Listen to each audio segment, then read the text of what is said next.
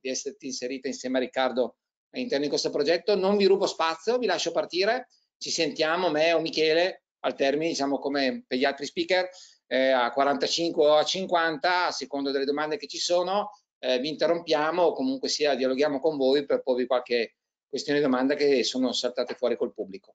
Pronti via, a, vostra, a vostro, tutta la piattaforma a vostra disposizione. Ciao. Grazie, grazie anche da, da parte nostra per questa opportunità che troviamo bellissima a partire dal nome Rinascita Digitale. Noi cambiamo un po' argomento e parliamo di scrittura online. Il nostro webinar l'abbiamo chiamato Scrivere male sul web, rischi per lettori e editori e pensiamo anche che sia molto attuale alla luce di quello che sta succedendo anche in questo, in questo periodo.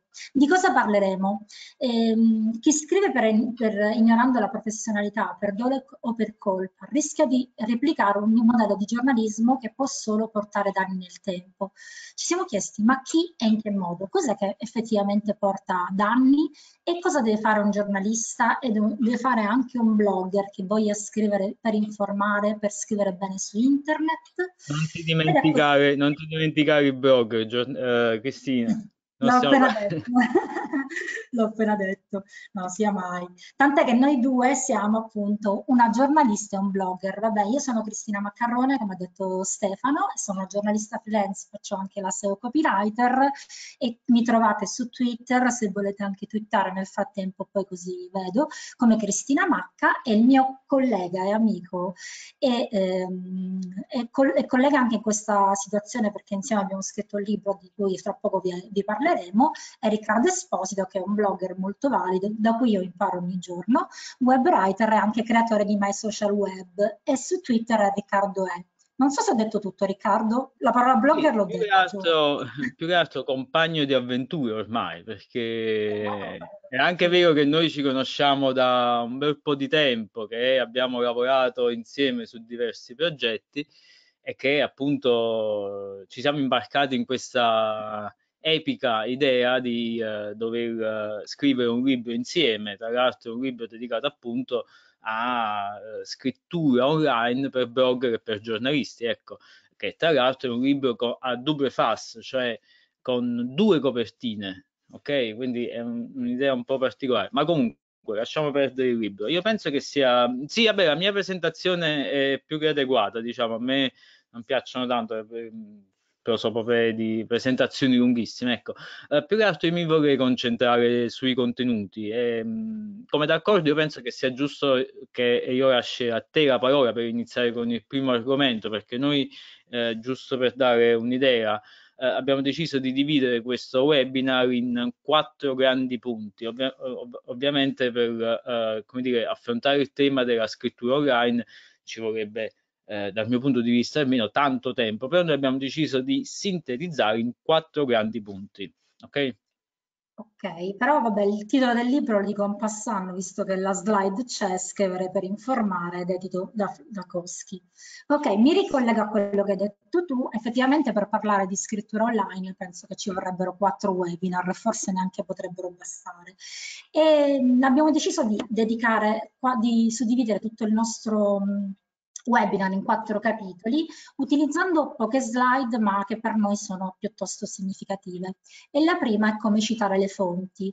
Tra l'altro è mm, molto molto attuale perché purtroppo in questo periodo si citano spesso, si parla spesso di numeri, si parla spesso di come si sta evolvendo questo virus che ci riguarda molto, ma spesso non si cita la fonte da cui sono presi i dati, la fonte da cui sono prese determinate informazioni, si interpretano le cose cose, penso che sarai d'accordo con me Riccardo, eh, senza magari guardare la fonte originale, anche alla luce del decreto per esempio si fa un'interpretazione senza dire da dove lo si, lo si è presa. Invece la fonte eh, in un articolo, sia che lo scriva un blogger che lo scriva un giornalista, è basilare. Il lettore deve poter ricavare, eh, capire da dove noi abbiamo preso la notizia notizia e non pensare che sia una mera interpretazione. Noi ovviamente la stiamo interpretando alla luce della nostra lettura, però il lettore deve poter ricostruire quello che, mutuando un'espressione da, da, Marco Tedeschini Lalli, che è un giornalista validissimo, eh, si, abbiamo chiamato l'albero delle informazioni, ossia bisogna vedere il frutto di un che è appunto l'articolo, ma anche la radice, cioè da dove è nato tutto. Tra l'altro il testo unico per i doveri del giornalista lo dice, lo dice all'articolo 9 e dice che la fonte va citata a meno che, infatti qua c'è il secondo punto, eh, non, eh, non, abbia chiesto di eh, non essere rivelata perché il rivelarle potrebbe compromettere appunto la sua vita, potrebbe compromettere la sua carriera, è una fonte che non è ancora ufficiosa e ci sta dando una soffiata. In quel caso va da sé che non la riveliamo, ma lo diciamo al lettore che non possiamo dirlo perché noi dobbiamo essere sempre chiari. Diversamente, proprio lo sottolineo, qualsiasi fonte va rivelata e soprattutto il web, come tra poco dirai tu, chiudo questa, questa parte, con i link permette più di quanto si, fare, si possa fare con la carta stampata, di capire dove trovare la fonte, di andare al, all'origine. E questo è fondamentale. Se noi stiamo citando un'agenzia, se stiamo citando un decreto, se stiamo citando un documento, se stiamo citando una nota di un'azienda. Se stiamo citando un comunicato stampa, sarebbe doveroso mettere come si legge nel comunicato stampa o come dice l'agenzia la, tal dei tali in un comunicato stampa. È doveroso se stiamo riportando qualcosa che si dice sui social network. Ok, chi è che l'ha detto? Peraltro a questa cosa ci tengo tantissimo e penso che il giornalismo e il blogging puro possano aiutare perché non so voi, ma a me stanno arrivando un sacco di messaggi di WhatsApp in cui mi, danno in cui mi si dà informazioni e io poi chiedo, ma ok, ma chi te l'ha detto? Sono tutti messaggi inoltrati che per fortuna WhatsApp lo dice che è inoltrato, ma non si sa mai da chi è partito e se non c'è chi ha detto cosa, cioè quindi il soggetto, quell'informazione non ha ragione di esistere. E la stessa cosa vale nel giornalismo. Lo stiamo dimenticando in questo periodo, lo stiamo dimenticando, a volte gli stessi blogger lo dimenticano. Ecco, non si può fare informazione interpretando quello che altri hanno interpretato. Devo sempre andare alla fonte e lo devo fare per il mio lettore. Riccardo, non so che ne pensi tu dando anche l'approccio ah. web user experience. Ah, sai, a me mi ha meravigliato il fatto che tu abbia detto a volte anche i blogger se lo dimenticano, perché io invece no, io invece nel mio, a parte nel mio studio per uh, scrivere il libro, ma anche nella mia esperienza quotidiana, noto che invece molti giornalisti proprio uh, dimenticano di uh, inserire nelle pagine web i link alla fonte ma ehm, diciamo eh, questo è come dire un approccio un po' bucolico quello che io eh, ho in questo momento perché in realtà forse non è che lo dimenticano forse non lo mettono di, di proposito perché chi mm. è più scout chi ha più uh, conoscenze in merito rispetto a come vanno le cose sul web sa bene che i link hanno un valore eh, nel senso che eh, quando io metto un link a, una, a un sito web sto dando adesso lo semplifico molto, un voto positivo agli occhi di Google, nel senso che io a Google sto dicendo guarda, io di, questa, di questo sito web mi fido, ok? E quindi ci metto un link. Questo link ovviamente avrà un valore in termini di posizionamento SEO. Di conseguenza spesso c'è questo approccio un po' incattivito per cui io non voglio dare link, non voglio dare un valore aggiunto ad altri siti web e soprattutto non voglio che io perda quella visita perché ovviamente un link equivale a un, dire, una porta di uscita. Io posso far uscire i lettori e portarli via dalla pagina web. Ovviamente per un quotidiano online che lavora con che guadagna con uh, l'advertising con la pubblicità questo vuol dire che se lo, gli do la possibilità di uscire sto perdendo potenziare incassi, nel senso che sto perdendo dei click sui banner, sulle pubblicità e via dicendo. E questo è un punto di vista. Ma è chiaro che comunque per dare un'informazione di qualità, per dare un contenuto di qualità, i famosi contenuti di qualità, io devo permettere alle persone di capire eh, qual è la fonte che io ho utilizzato per creare il mio contenuto. In primo luogo perché è eh, giusto nei confronti di chi ti ha permesso di creare il contenuto, nel senso che io devo anche gratificare chi mi ha dato lo spunto, altrimenti io non, non avrei scritto quel contenuto. Ecco. Quindi Ma devo anche permettere... Un po' per rispetto, no? no? Devo, anche per, sì, devo anche permettere a chi legge di arrivare a una, a una conclusione, cioè di capire eh, come dire, uh, chi ha uh, contribuito a, alla creazione di questo, di questo articolo. Um, e tutto questo uh, a volte non viene fatto di proposito e quando viene fatto, a volte viene fatto male, nel senso che quando si cita una fonte sul web, bisogna scegliere con cura a parte la pagina di atterraggio, nel senso che io non devo linkare la home page di un sito, ma la pagina specifica, in questo modo io semplifico l'attività di chi vuole verificare ma devo anche eh, utilizzare un anchor text adeguato per far capire esattamente sia a Google che scansiona la pagina, sia al lettore che fa uh, un lavoro uh, simile, nel senso scansiona il contenuto e alla ricerca di elementi per capire se è interessante o meno quel contenuto, devo permettere attraverso l'anchor text di capire qual è la pagina di atterraggio. Faccio un esempio, quando metto un link non utilizzo come anchor text uh, fonte, vai, clicca, vedi uh, e altre cose del genere, ma utilizzo una parola che mi permette di capire, ad esempio, su quale sito web io sto atterrando. Ad esempio, fonte La Repubblica, oppure fonte www.larepubblica.it.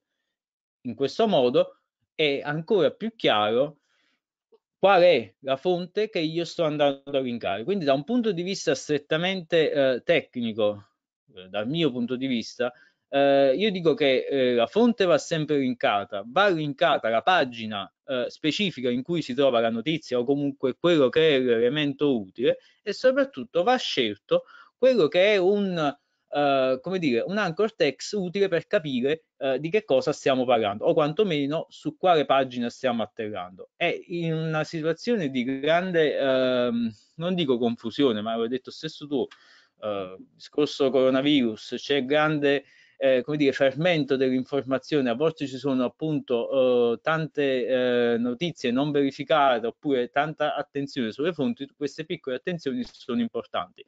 Così come sono importanti anche eh, altri argomenti tipo quelli che abbiamo oh, citato nella nostra, che vogliamo citare nel nostro webinar. Ad esempio, il prossimo tema è appunto uno dei più, eh, come dire, sentiti dalla, da, da chi comunica, nel senso che il titolo è l'elemento fondamentale per attirare l'attenzione di chi legge, nel senso che questi titoli eh, oggi discorso coronavirus, no? titoli roboanti, titoli eh, pensati per catturare l'attenzione, per fare eh, clickbaiting a volte e eh, tutto questo diventa tutto questo a scapito poi della buona informazione, cioè chi comunica, chi eh, scrive articoli per quotidiani online, per blog, per quello che è l'informazione digitale deve fare tantissima attenzione a questa stringa di contenuto perché nella maggior parte dei casi è l'elemento principale, se non l'unico, che eh, consente al lettore di capire se cliccare o meno e se leggere o meno un contenuto. Ora, eh, sempre da un punto di vista, un punto di vista tecnico, eh, a me quello che interessa, poi diciamo vorrei lasciare a te la parte più giornalistica, d'altro canto è proprio il tuo settore, ma da un punto di vista della eh, scrittura online, quello che mi preme sottolineare è che eh, spesso c'è poca attenzione a quello che è la cura di aspetti come la differenza fra tag, title e H1. Um, ehm, spesso a volte i giornalisti non, uh, ma anche i blogger, eh, ovviamente, io sto facendo un discorso un po' generico. Ecco, diciamolo. Uh, eh no, no, perché tu hai fatto il discorso uh, pro giornalisti anti-blogger, adesso io voglio restituire il piacere. No, sto scherzando. um, però che cosa succede? Eh, che eh, si scrive un titolo eh, nel backend, diciamo nel CMS, che nella maggior parte dei casi è WordPress, e si ignora il fatto che quel titolo eh, è sia H1, cioè il titolo che le persone vedono quando arrivano su una pagina web, quello che io posso vedere quando arrivo su un articolo della Repubblica o qualunque altro quotidiano o blog, automaticamente questo H1 diventa tag title, cioè il titolo che appare nella SERP, nella pagina dei risultati di Google nel momento in cui io cerco qualcosa. Ora, eh, questi due elementi hanno, come dire, eh, sono sempre dei titoli, ma hanno delle funzioni leggermente diverse, perché il tag title è l'elemento che comunica a Google quello che è il topic più importante di una pagina web. Quindi da un punto di vista strettamente SEO dovrebbe essere particolarmente curato. Ovviamente non parliamo più solo del discorso mettere la keyword, eh, perché eh, sappiamo che comunque l'evoluzione dei motori di ricerca ci porta a, uh, dire, uh, sganciarci un po' da, questa, uh, da questi paraocchi per cui io basta che metto la keyword e sto a posto nel tag title. Però è chiaro che deve esserci, che deve essere indicato quello che è il topic e soprattutto dobbiamo rimanere intorno a quelle che sono 60-65 battute, altrimenti nella SERP il tag title viene eh, tagliato. Eh, mentre invece nell'H1 io posso essere più creativo, mantengo sempre l'attenzione, il focus sul topic, però eh, come dire, posso uh, dare più spazio a, a, quello che è un approccio, a quello che è un titolo caldo, ecco. Uh, e a tal proposito io però vorrei lasciarti uh, la parola eh, proprio perché io so bene che il discorso dei titoli nel giornalismo può essere molto diciamo, per l'argomento coronavirus lo usiamo come esempio, però diciamo un po' in generale, eh, voi giornalisti avete fatto scuola, anche a noi blogger, noi abbiamo imparato da voi eh, cosa significa creare un titolo ad effetto, però adesso ce lo spieghi anche tu diciamo che impariamo a vicenda eh? e questo, il nostro essere insieme è la dimostrazione di cui io sono molto, molto fiera.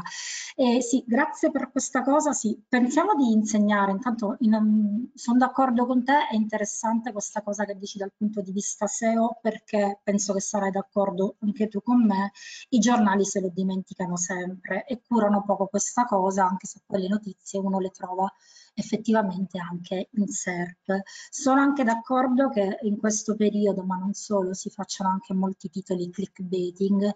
L'ultimo era quello di Repubblica che faceva vedere come un'inchiesta, eh, come uno scoop fighissimo il fatto che un'azienda di Brescia avesse venduto dei tamponi agli Stati Uniti e poi si è, si è visto come questo titolo era stato un po', un po forzato, creando anche un po' di, di dibattito e anche il post stesso aveva analizzato questa cosa.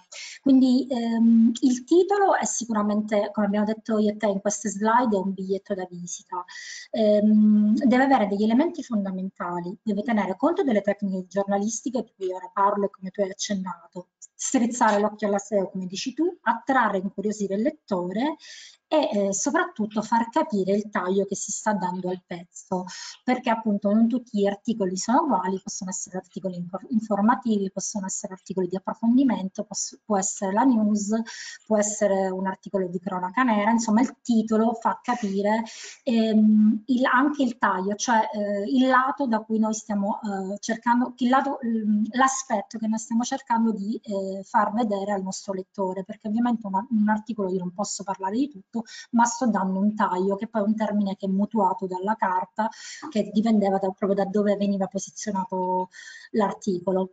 Riguardo ai titoli caldi e freddi, sono, sono d'accordo, eh, il titolo freddo è un titolo, come un po' si può intuire, che è enunciativo anche, cioè un titolo che annuncia un, un fatto che è successo. Per fare un esempio, per far capire a chi ci sta seguendo, un titolo mh, enunciativo e di conseguenza freddo informa forma di quello che è successo, come per esempio incendio distrugge lo stadio a Milano, ovviamente facciamo tutti gli scongiuri possibili, praticamente il nostro lettore capisce eh, che è un articolo di cronaca e dentro ci troverà ehm, la cronaca dell'incendio, anche un titolo non particolarmente bello secondo me, però insomma è un titolo di cronaca che si, che si capisce anche, ehm, un titolo anche un po' ellittico in cui sono omesse delle, delle, parti in italiano, perché in italiano dovremmo dire un incendio ha distrutto, oppure di, un incendio distrugge lo stadio, almeno mettere un altro elemento. Un titolo caldo, come si può capire dall'aggettivo, dall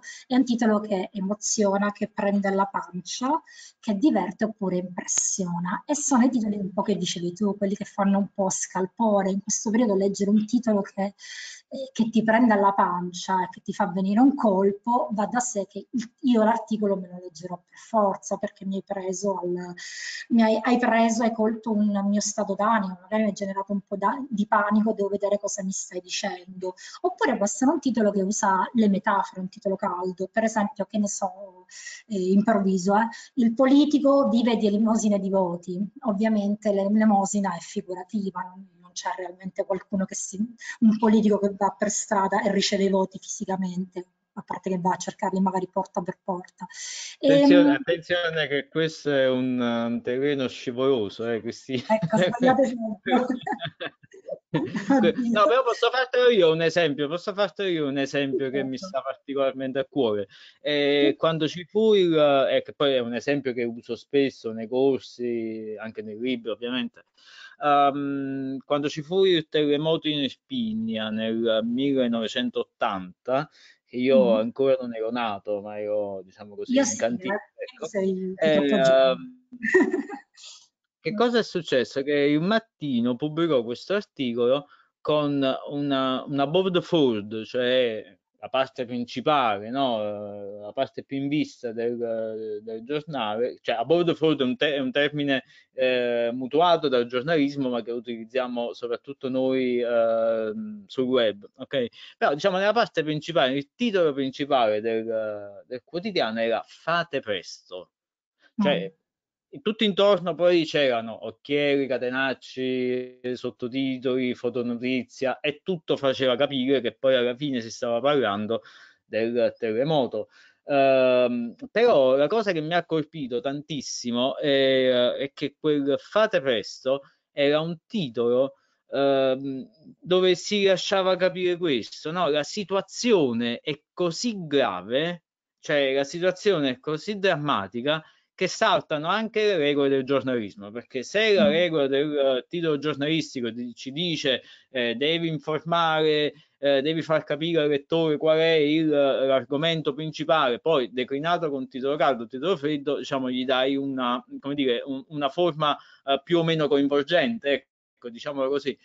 Però quel titolo invece dice guarda, non, non, possiamo, non c'è tempo per pensare a niente, non, saltano tutte le regole della scrittura e del giornalismo. La cosa più importante è che io, devo, io giornalista utilizzo questo spazio per fare una preghiera, diciamo, per eh, dare un'incitazione, per chiedere di fare presto perché la situazione è gravissima. E secondo me, dal mio punto di vista, questo è un titolo caldo diciamo, uh, quasi assurdo definirlo semplicemente caldo. Questo è un, è un, dal mio punto di vista è un, capolavoro, un capolavoro di comunicazione, ma che da un punto di vista strettamente tecnico per la SEO, per i contenuti web, sarebbe un insuccesso. Per quale motivo? Perché il contenuto oggi sul web viene visto, viene trovato anche grazie al tag title. Per questo c'è la differenza fra tag title e H1 perché io col tag title potrei utilizzare una formula del tipo terremoto in Irpinia, due punti, fate presto, quindi faccio capire a Google qual è il topic da affrontare. Poi nell'H1 eh, posso utilizzare una formula, una formula diversa dove è sempre importante l'H1 ma meno del tag title da un punto di vista SEO e di conseguenza posso giocarmela. Tra l'altro un titolo così appunto decontestualizzato però non direbbe niente nonostante sia bellissimo, cioè preso fuori dall'articolo sì. non dà nessuna informazione, non dice chi, cosa, eccetera.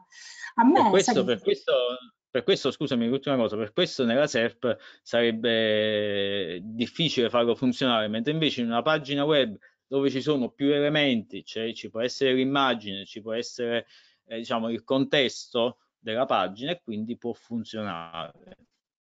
Sì, anche se io lo completerei anche con fate presto, due punti, l'appello, non lo so, del prefetto, l'appello di qualcuno, almeno per far capire chi lo contestualizza, sì.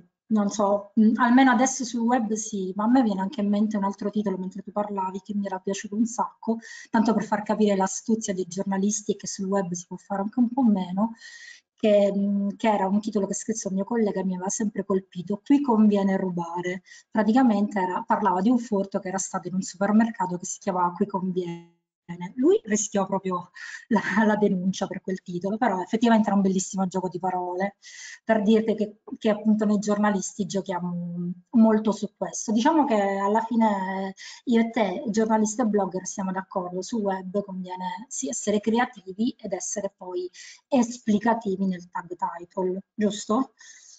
Sì, questo sicuramente. La regola fondamentale eh, eh, suggerita anche da, dalla guida SEO base di, di Google, no? che eh, Google ha una, una, guida di base eh, molto semplice ma importante per chi fa questo lavoro e diciamo, uno dei capisaldi è proprio quello di scrivere tag title informativi e non troppo lunghi. Ecco. Ok, e magari con un po' di creatività, perché tutti quei titoli come fare questo, come fare quell'altro, a volte hanno anche un po' annoiato, no? Che dici?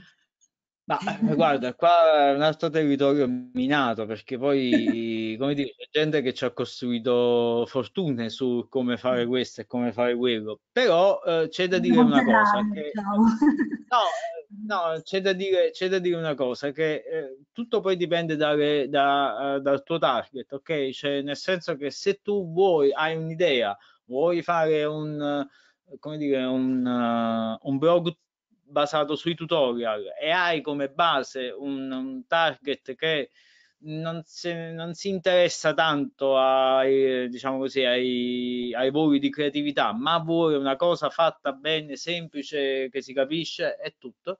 Eh, quella è la formula. Poi, chiaro, sarà noioso da un punto di vista creativo, ma se quella cosa serve, cioè, capito? Tutto dipende da quello che vuoi fare.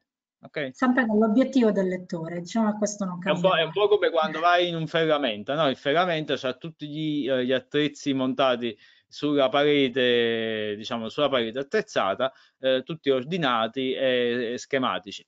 Noioso da vedere, no? Però funziona, cioè ti serve quella chiave, la prendi e te ne vai. Ok, allora passiamo al prossimo argomento che invece è, è anche una cosa di cui parliamo tanto nel libro, che è la differenza tra notizia e comunicato stampa, che abbiamo messo come terzo slide perché una volta che abbiamo parlato del titolo ci siamo detti ok, però eh, immaginiamoci anche dal punto di vista di di chi vuole comunicare, in questo caso di un'azienda che si affida a un ufficio stampa, a chi si occupa di media relation per arrivare ai giornalisti. Peraltro il comunicato stampa è spesso una fonte. Il problema è che spesso, e poi tu mi dirai la tua parte sempre dal punto di vista della user experience, che è molto interessante, che di contenuto, il fatto è che i comunicati stampa in questo momento spesso non vengono letti dai giornalisti e chi fa media relation magari si lamenta perché non ha non ha la giusta attenzione. Però è importante dire che la notizia e il comunicato stampa sono diversi eh, innanzitutto perché cambia il destinatario. La notizia, come abbiamo scritto qui nelle slide, è per il lettore, il comunicato è per i giornalisti che a loro volta parleranno al lettore. Beh, di conseguenza però ehm, spesso quello che mi capita, mh, penso anche a te perché ormai i comunicati stampa li ricevono anche i blogger, è che ti arriva un comunicato che non comunica niente, non so, scusate il gioco di parole, nel senso che la notizia realisticamente non c'è. Succede, questo capita perché probabilmente chi si occupa di ufficio stampa è un po' costretto dalle aziende, quindi qua se c'è qualche azienda in ascolto mi preme anche dirlo a loro, meglio uscire con un comunicato quando effettivamente c'è una notizia. Una notizia appunto è una novità, un qualcosa che possa attrarre il giornalista che a sua volta la comunichi appunto ai, al suo lettore, perché se non c'è una notizia è normale che il giornalista non, non lo consideri, eccezione fatta per quando magari il comunicato stampa viene da uno sponsor, ma lì non stiamo più parlando di giornalismo e non sarebbe corretto. Quindi il comunicato deve contenere sempre la notizia. Questo è, mm, è, fondamentale appunto perché eh, il giornalista ne parli e tra l'altro um, è anche importante quando si fa un comunicato stampa, questa è una cosa che è emersa anche noi tanti webinar che io e Riccardo abbiamo fatto, eh, che spesso il comunicato è scritto così bene, non so se ti ricordi Riccardo che ci hanno fatto notare questa cosa, che il giornalista sì. non ha quasi niente da fare, insomma gli viene normale anche un po' per la fretta, un po' perché siamo la la categoria più pigra del mondo e più viziata del mondo, e io ci metto pure in mezzo. Questa, questa, è una cosa che stai, questa è una cosa che ti stai dicendo da sola, stai dicendo tu, non mi... Eh... Tu, però, giusto? no, no, no, no, questa è una cosa che stai dicendo tu, non mi prendo responsabilità. Vai. No, vabbè, ve lo dico perché posso farlo, c'è un tesserino, quindi lo posso fare. No, dicevo che spesso appunto siamo così pigri che facciamo copia e incolla e questo um, ora vedremo dal punto di vista Google ci dirà quanto sia controproducente. Però anche dal punto di vista eh, del contenuto non va bene perché succederà che tutti i giornali hanno lo stesso tipo di notizia e soprattutto non avremmo fatto il lavoro più importante del mondo, dare il privilegio al lettore di leggere un taglio, come dicevo prima, un'angolatura, qualche particolare. Ok, il comunicato è uguale per tutti, va bene, ma il comunicato è una fonte, non è una notizia. Deve contenere una notizia, ma non è una notizia, è una fonte su cui appunto il giornalista deve lavorare per fare il suo articolo. Quindi è fondamentale quando un giornalista lo riceve, ma anche un blogger, sempre che scrive per informare, non limitarsi a fare un copia e incolla, non limitarsi a seguirlo in maniera pedissequa e fare solamente editing, cioè rimescolare quello che c'è, che che già almeno presuppone un po' meno di pigrizia, ma ehm, approfondire un aspetto, anche se il comunicato è perfetto, quindi mh, mm, dire ok, questa cosa la voglio trattare in un altro modo, ok, caro ufficio stampa, mi fai sentire eh, nell'azienda tal dei tali in modo che ci metto dei virgolettati che sono sempre importanti in modo da dare delle dichiarazioni, oppure senti, io ho ricevuto questo dato, però questa cosa non, non mi quadra molto, oppure vorrei dare un altro aspetto, mi dai qualche cosa cosa in più, cioè alzare la cornetta e dire che poi l'ufficio stampa è lì per quello, se riceve telefonate del genere è solamente felice anche se fa lavoro in più, però eh, viene fa, dare un altro un altro aspetto, ecco, approfondire anche un comunicato perfetto fa sì che noi diamo un'altra angolatura al nostro articolo e diamo un ulteriore approfondimento. E peraltro a livello di concorrenza, quindi perché ovviamente tutti i giornali online sono in concorrenza, sia dal punto di vista dei contenuti che concorrono per la SERP, eh, cercheremo un po' di sbaragliarlo perché avremo dato qualcosa di diverso. E come noi avremo trattato una notizia, anche se la fonte è la stessa, non sarà mai come hanno trattato gli altri. E, ehm, invece, dal punto di vista proprio del, di Google e tutto quello di cui tu sei esperto, ci sono Ma, punti eh, comuni o no? Sì, no, eh, il discorso è molto, è molto semplice, anche se difficile da, da far capire a volte. Eh, lo dico per esperienza perché un, diversi anni fa mi sono trovato a fare formazione a un gruppo di giornalisti eh, dell'ordine, insomma, i crediti, queste cose qui, e, e quando ho annunciato questa cosa, cioè che non bisogna eh, prendere il comunicato stampa, copiarlo e incollare il testo su un, uh, diciamo, su un editor per poi pubblicarlo, ho avuto un sacco di critiche. Eh, diciamo, c'è stata proprio una, ah, una ribellione in aula, no? Ma come? Ma quindi poi dobbiamo scrivere l'articolo? Beh, eh, sai, il comunicato stampa è un contenuto che serve a questo, a come dire, eh, far sentire un'unica voce da, da un organo, da un politico, non so di chi, in modo tale che poi i giornalisti possano scrivere un articolo, insomma, ecco.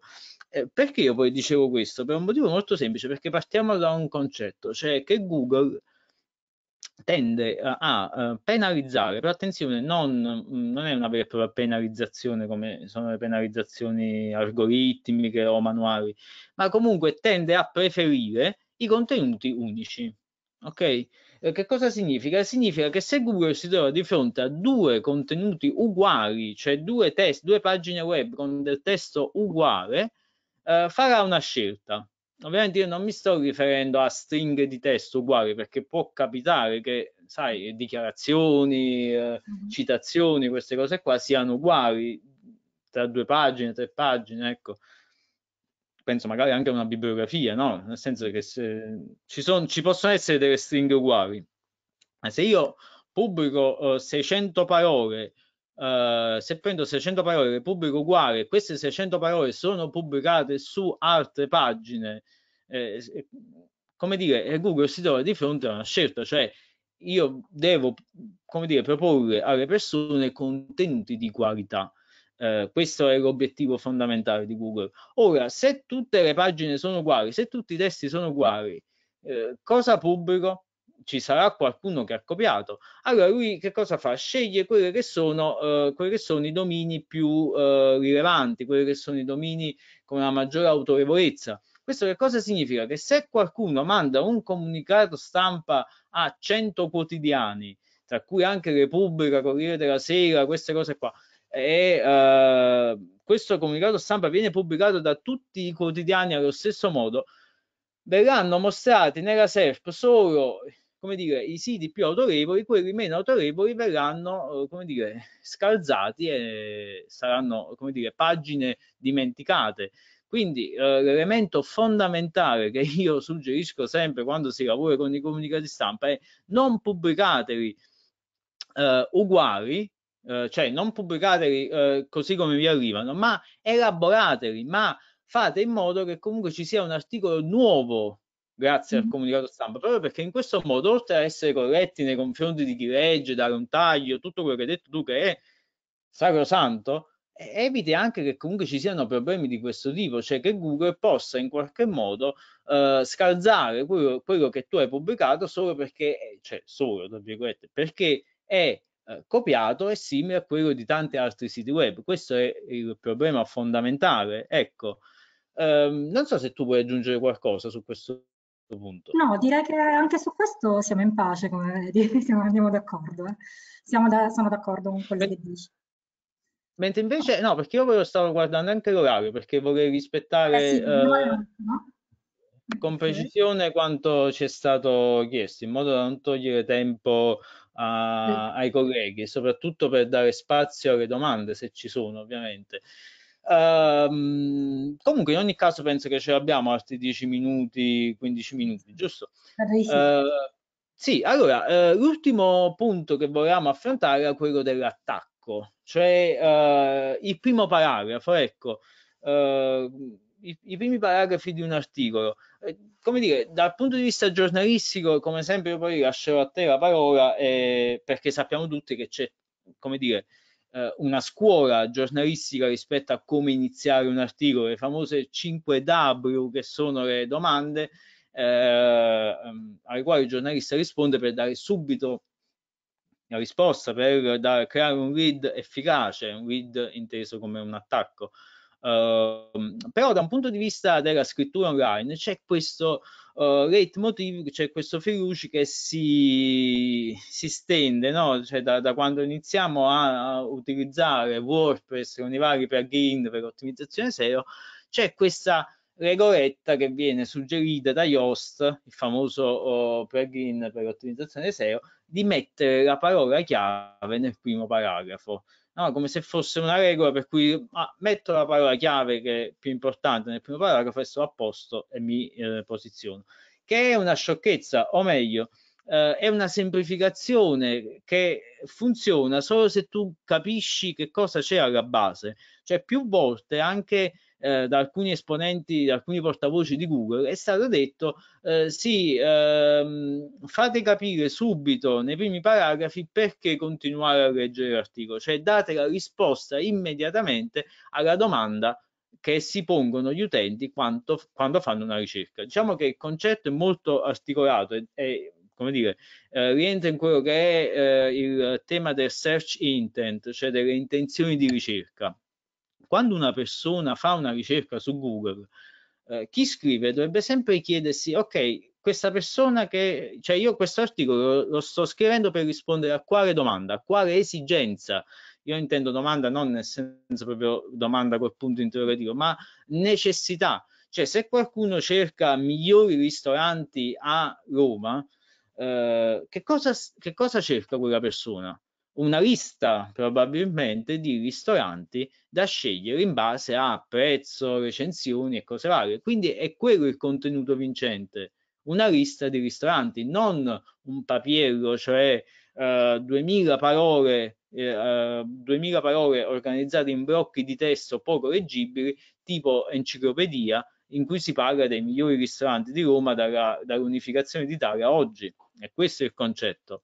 Uh, così come uh, è importante quando scriviamo i nostri articoli non fermarci a quell'idea che metto la parola chiave e sto a posto. Io posso anche non mettere quella specifica parola chiave, ma sinonimi ma varianti. L'importante è eh, quello di creare un attacco in primo luogo ben formattato, breve, non, eh, come dire, non pesante nella lettura, ma soprattutto capaci di dare subito il valore di quello che io sto scrivendo. Quindi eh, do subito le informazioni più importanti e poi approfondisco. La, famose, la famosa eh, piramide rovesciata, insomma, del giornalismo eh, funziona anche sul web. Eh, quello che è importante capire è che eh, soprattutto che sul web, soprattutto dalla lettura mobile, cioè il telefonino, eh, tutto questo viene ancora più amplificato, viene amplificato nel senso che la lettura è ancora più distratta, è ancora più fugace, ok? Quindi io da un punto di vista del web writing ho bisogno di un attacco capace di eh, andare subito al dunque e far capire al lettore cosa troverà nell'articolo e quali sono i vantaggi che lui può avere nel momento in cui continua a leggere il mio contenuto. Questo da un punto di vista eh, tecnico. Giornalisti, da, da, come giornalista, secondo me, tu puoi aggiungere tanto. Ok, ci provo a farlo. Intanto, vabbè, sono d'accordo con te che da mobile la cosa si amplifica anche perché spesso quando leggiamo da mobile leggiamo essenzialmente in mobilità, non, non, in questo periodo però normalmente facciamo così, magari siamo in metropolitana e qualcuno ci dà una gomitata oppure dobbiamo scendere alla fermata. Quei, quei bei tempi, quei bei tempi quando prendevamo la metropolitana. Quei mezzi pubblici che quel, quel, piacere di andare su una metropolitana o su un autobus, cioè ormai proprio lontano. Verissimo. Dico, al di là di questo, insomma, se uno ha iniziato con un attacco che non ha coinvolto il lettore, va da sé che poi il lettore in una situazione in cui si debba muovere è difficile che ritorni. Quindi sono d'accordissimo con te. Noi abbiamo messo anche un altro punto qui, che è poi il primo, oltre le 5 W, insomma, oltre le 5 W di cui hai parlato tu, perché spesso si dice l'attacco deve appunto rispondere alle varie domande che non sto qua a dire chi, cosa, quando, eccetera, eccetera, ma dipende, perché perché questo vale per un articolo di cronaca, cronaca nera, cronaca bianca, cronaca giudiziaria, in cui appunto si dà tutta la notizia nel nel primo, nel primo, paragrafo. Ecco, si dice tutto rispondendo appunto a chi ha compiuto un'azione, cosa, dove, quando e, e, perché l'ha fatta e poi anche come, che effettivamente non è una W ma è una e questo è un attacco che ovviamente è valido in questo caso e che gli americani un po' chiamano summary lead, ossia un attacco in cui ehm, ci sono gli aspetti salienti e viene chiamato anche nel giornalismo attacco enunciativo. Tu stai enunciando un fatto e se appunto ti è arrivato alla gomitata in metropolitana, che ormai è sintomatica, la notizia ce l'hai quindi ti è rimasta. Però se ehm, il nostro articolo è un approfondimento, se il nostro articolo è un reportage, che ci sono ovviamente anche sul web, se, un, se il nostro articolo è un'intervista, per esempio a me un attacco che piace tantissimissimo è quello descrittivo, in cui si descrive una situazione, si fa immaginare la persona che hai davanti, dov'è, come si sta comportando, magari soffermandosi, soffermandosi su un particolare, i capelli, le mani, quello che sta facendo, in modo che il lettore si immedesimi. È un attacco che per esempio vanno molto in Vanity Fair, che mi piace molto, e in modo che il lettore entri direttamente nella, nella situazione e si faccia appunto portare. Ed è un attacco che viene chiamato descrittivo e soprattutto è utile per far capire che io come giornalista o te come blogger, Riccardo, siamo stati sul posto, abbiamo intervistato davvero la persona. Funziona tantissimo anche se io sto raccontando un evento, anche se stessi raccontando Rinascita Digitale, anche se online, potrebbe funzionare magari raccontando un aspetto. Ecco, questo secondo me è molto utile e fa capire che tu hai partecipato appunto a un, a un, evento e coinvolgi subito il nostro lettore. Una descrizione bella lo farà restare incollato, anche se gli danno questa famosa gomitata sulla metropolitana. Altro attacco che a me piace molto è quello diretto, che io uso quando, quando mi devo cavare d'impiccio, insomma quando non so come iniziare. Ossia inizi con le virgolette e fai parlare direttamente una persona che è importante, che dice qualcosa di succoso. Eh, ovviamente mh, qualcosa che sia denso, che sia importante, che sia anche di per sé una notizia, ma anziché dirlo tu, lo metti come virgolettato appunto a una, a una persona. Ed è un attacco diretto e questo anche funziona tantissimissimo soprattutto appunto se la frase scelta è densa di, di, significato, anche perché il lettore che vede subito aprire le virgolette, o siano virgolette alte o caporali, capisce che c'è qualcuno che sta parlando e in un certo senso si mette sul chi va là. Ovvio che non bisogna farlo parlare per quattro righe e poi vedere chi è che parla, ma fargli dire una frase, chiudere le virgolette, dire lo dice Tizio e poi magari farlo continuare. Un altro attacco che mi piace molto, e poi finisco con questa panoramica sugli attacchi giornalistici, è che secondo me usano tantissimo anche i blogger, mi sembra anche tu Riccardo, visto che ti leggo, ora mi smentirai, è l'attacco interrogativo, ossia quello che inizia con le domande, che domande possono essere domande che un po' coinvolgono tutti. Eh, faccio un esempio sempre per questo periodo. Siamo sicuri di sapere tutto sul coronavirus? Punto interrogativo. E, ehm, e i numeri che ci stanno dando, ovviamente prendetelo con le pinze che è un esempio, eh, non, sto, non voglio dire niente. I numeri che ci stanno dando sono reali o c'è qualcosa che non sappiamo? Due punti interrogativi che hanno preso dei dubbi e il lettore dice cavolo, ok, cos'è che devo sapere? E continuo a leggere. Secondo me questi funzionano, funzionano molto sul web perché è una scrittura che a mio avviso, non so cosa ne pensi tu, coinvolge e, ed è la perfetta sintesi tra quello che il giornalista può fare e quello che il blogger, che è un po' più attento del giornalista, lo dobbiamo ammettere, alla SEO, alla user experience, suggerirebbero per il suo lettore. Questa è la mia conclusione, non so se vuoi aggiungere. Sì, no, io a questo aggiungerei solo uno dei, degli attacchi che a me piace, cioè uno di quelli che uso con maggior uh, efficacia, cioè che a me piace, ecco. Uh, quello che mette in pratica il modello problem agitate solve del copywriting, cioè individua un problema, agita il problema e proponiti come soluzione. Ok?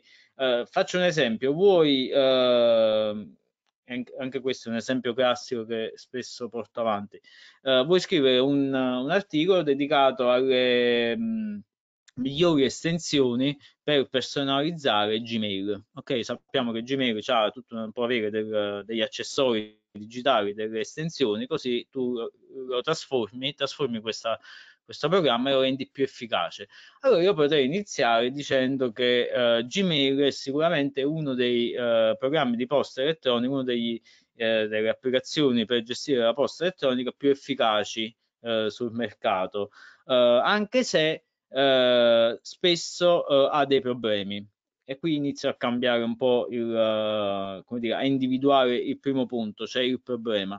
ad esempio, uh, non riesce a trovare la posta che è arrivata ieri. Uh, posta che uh, ogni volta ritrovi nel cestino. E spesso non ti accorgi uh, che ti ha scritto proprio il responsabile o il capo o il cliente. Qui inizi ad agitare il problema perché il cliente che scrive e tu non rispondi vuol dire che rischi di perdere il lavoro o comunque la commissione oppure rischi di perdere un pezzo importante del lavoro che stai facendo che stai facendo e quindi sei inefficace sul lavoro. Rischi grosso rischi addirittura di perdere il cliente perché Gmail non funziona bene. Vuoi risolvere questo problema? Perfetto leggi questo articolo con le 10 estensioni più eh, importanti di Gmail che ti permetteranno di essere efficace efficiente e tutto quello che vuoi e questo è un attacco che uh, funziona. Ok, abbiamo fatto un articolo così, dal nulla. Ecco, okay. basta solo fare una lista puntata di, di estensioni e tutto funziona. O basta fare l'attacco giusto che vuol dire essere a metà dell'opera, come dicevamo. Ok, sono le 15.50. Io non so se noi abbiamo domande, se, se ci sia ancora Stefano. Ci sono io, no? ci sono Michele. Ah, ciao Michele, ok. No. Ci sono domande per noi? Ho, ho, preso, ho, preso, il posto di Stefano. Eh, sto leggendo adesso le domande. Eh, Pippo chiede, per capire meglio, il title tag viene tagliato dopo 60-65 caratteri o in altro modo? Posso rispondere? Vai pure tu Riccardo. Allora, il tag title uh, non viene uh, tagliato dopo 60-65 uh, caratteri perché praticamente Google fa uh, un conteggio relativo ai pixel, cioè quanti pixel si prendono le lettere all'interno dello snippet, cioè del nostro spazio. Quindi, per esempio, se io faccio un titolo tutte O, avrò 10 caratteri, ok? 15 caratteri. Se faccio un titolo con solo I, ce ne saranno 50 di caratteri. È lo spazio che conta, ok? Quindi di solito si dice 60-65, potrebbero essere di più, potrebbero essere di meno. Perfetto. Quindi conviene sempre un po' guardarlo dopo che, si è, che va in SERP, giusto Riccardo? Sì, mm, diciamo che fai una verifica e ti, ti rendi conto. Antonio chiede, fate, eh, fate presto, è un titolo che ha fatto storia ed è stato utilizzato per l'opera di Andy Warhol, segnala Antonio. Eh... Sì, ehm, anche, penso, sì. Non lo so perché il titolo è, è uscito sul mattino per, in, rispetto al terremoto del, in Irpinia. Se non sbaglio, uh, Andy Warhol comunque ha fatto una grande produzione di quadri relativi a Napoli, c'è il Vesuvio, mi pare. Non mi ricordo, mm, probabilmente sì. Ricca- Riccardo dice che sta già controllando i suoi post per vedere se vanno bene o meno seguendo le vostre indicazioni, per cui il che è buono, direi. Eh, sì, sì, direi proprio di sì. Poi se vuole anche prendere il libro trova indicazioni ancora più approfondite. Francesca chiede, chiede eh, dove si trova di preciso il tag title. Okay, il tag title, allora, nel backend, cioè nel, nell'editor di WordPress si trova alla fine del alla fine del, um, diciamo così, del, della pagina dove c'è il cruscotto di Yoast, che se tu installi il plugin WordPress Server by Yoast si trova alla fine del, diciamo così, dell'editor di testo. Uh, nel codice HTML il tag title si trova nella sezione head, eh, che si trova sopra il body, eh, nella SERP si trova nello snippet sopra alla, alla meta description. Perfetto, eh, non vedo altre domande, se c'è qualcuno che ne vuole fare, questo è il momento. Una per Cristina, dai. esatto. Vabbè, ma queste cose le sapevo Mettitela alla prova. Va bene, vuol dire che siamo stati eh, abbastanza chiari. Siete, siete, stati troppo chiari, eh, non, non, so cosa dirvi. Di solito c'è un'ondata di domande, invece questa volta mi sa che avete già risposto a tutto quello al quale si poteva rispondere in merito a questo argomento. Eh, per questo vi ringrazio ovviamente per i vostri contributi. Adesso spero che il prossimo speaker sia già qua presente. Eh, sì, è qua. Eh, così almeno vi saluto, vi ringrazio nuovamente per aver portato i vostri contenuti qua da Rinascita Digitale e di, di, di averci fatto compagnia per, per quest'oretta. Per Grazie ogni va bene, ragazzi. questione ovviamente ciao, invito tutti quanti a scrivervi e, e, vi auguro una buona giornata. Grazie. Un saluto, ciao. Ciao a tutti. Ciao ciao.